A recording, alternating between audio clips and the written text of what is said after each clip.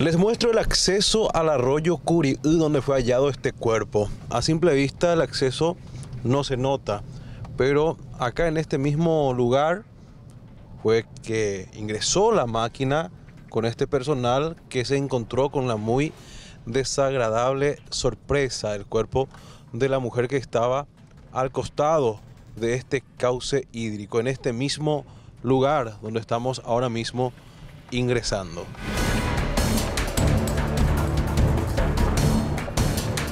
El cuerpo estaba en este mismo lugar y a su costado esta piedra con manchas de sangre.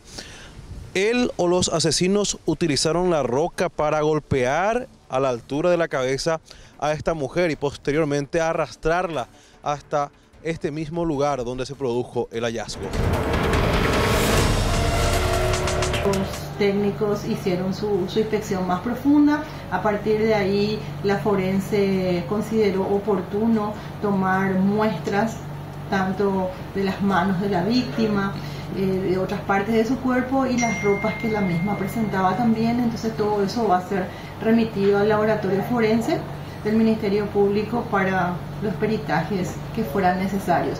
Y aparte de eso, ya estamos abocados con la Policía Nacional a recabar todo tipo de información eh, que nos pueda brindar la ciudadanía y también otras que ya recabamos en el lugar del hecho que están investigando los intervinientes. Preliminares que tenemos, eh, ella habría sido vista por sus familiares en la madrugada entre las 12 y las 2 de la mañana. A partir de eso, los familiares mencionan que ya durmieron y que la madre antes de ir a trabajar fue a, verificar si la misma estaba en su habitación y no la encontró y a partir de ahí entonces hizo la, la denuncia respectiva. Ella estaba sin ningún tipo de identificación, eh, no tenía no tenía consigo su aparato celular, la madre dice que ella sí lo portaba, ¿verdad?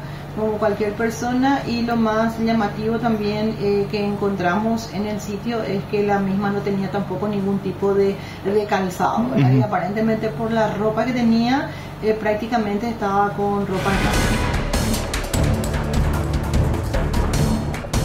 Está trabajando eh, minuciosamente justamente eh, personal abocado a esa investigación está realizando los trabajos preliminares, eh, tanto desde su domicilio hasta el lugar del, hecho.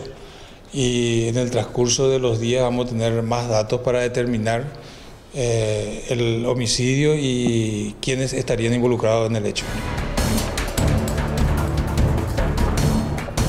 Tenemos un trabajo minucioso tanto de circuitos cerrados de los diferentes lugares hasta, lugar hasta llegar al lugar del hecho, como también el aparato celular que estaba usando la víctima, que hasta ahora eh, no, no, no, está en el domicilio ni tampoco estuvo en el poder de la, de la persona que hoy está fallecida.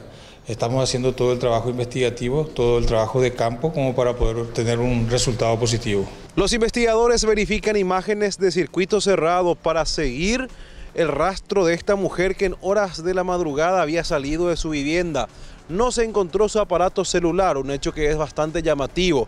Y tampoco de momento se sabe quién pudo sacarla de su vivienda a estas horas de la madrugada y para que termine en este alejado lugar.